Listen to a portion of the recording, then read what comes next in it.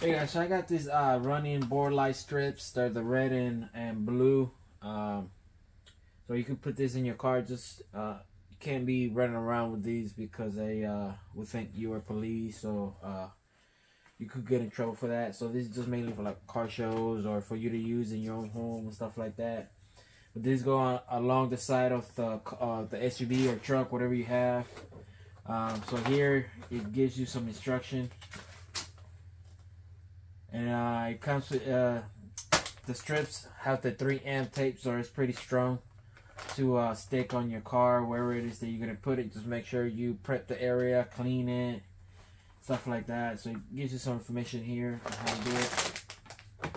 Let's put that over here. So they come nicely packed in here? So let's take them out. So it gives you two Here's some of the hardware. Depends on where you're gonna put it at. Uh, comes with some um, zip ties and some clip with some screws that you could uh, screw it into wherever it is that you're gonna put it at. So that's good. So here's the plugs. Here's the power and the the switching button.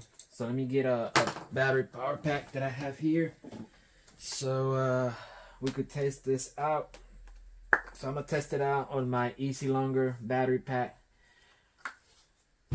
So let's go ahead and plug this up right here.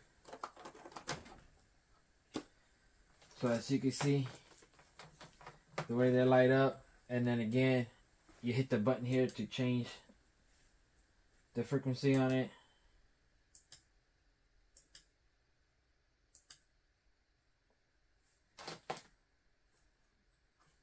And they have um, long enough wire so you can run this through the bottom or through the inside and just plug this up to your cigarette lighter in your car.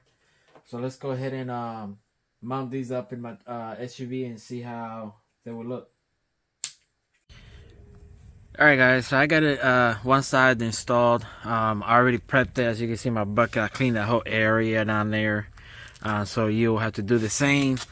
And then I went ahead and passed some alcohol. to Make sure I got everything out because uh, so that way that 3M tape will stick on there good.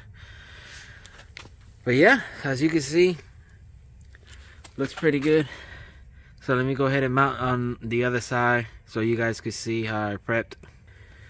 Alright, so I gotta open both of my doors because since I gotta explore, um, I can't run it through my door, so I have to do it through this trim down here on the bottom. So I will definitely clean this trim out with some water and soap. And then uh, pass some alcohol with a clean rag to get make sure I get everything out clean. So the 3M tape. So this 3M tape right here sticks on there really good, which the 3M tape is already a good tape. And then um, you just run the wires in through here and connect it all the way to the to the 12 volt outlet or I might just uh I don't know come up with some plug and plug it up with some uh, plugs over here connected to the battery. So it'll be a lot easier than running a 12 volt plug. But yeah so here's the plug. Connected to the other one already. So yeah so let's get this uh, clean and uh, put the other one on here. So yeah so you will have to clean that out Alright guys, so there you guys, you can see, got it installed in through the inside of that trim of the door.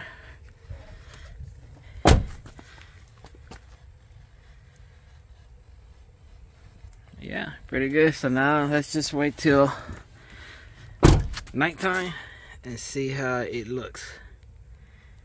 But so far pretty good. Alright guys, as you can see, it's kind of dark out, so you see they're really bright.